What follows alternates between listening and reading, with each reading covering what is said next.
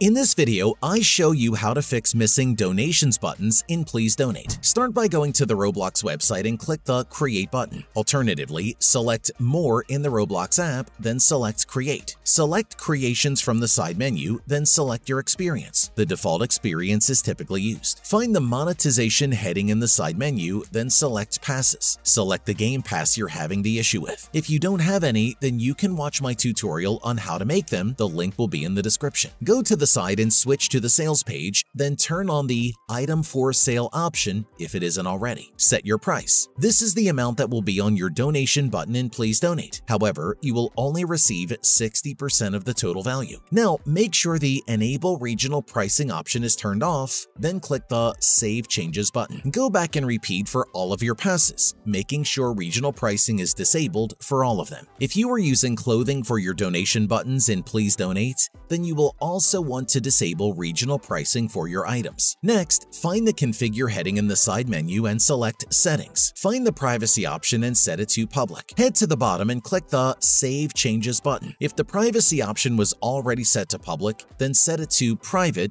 and save changes. Then set it back to public and click the Save Changes button again. Go to Please Donate and choose to edit your stand. Then scroll to the bottom and select Unclaim Booth. Reclaim your booth and your missing donation button should appear. If they don't, then leave the game and join back. You now know how to fix the Game Pass not showing up in Please Donate issue. Please leave a like if you found the video helpful.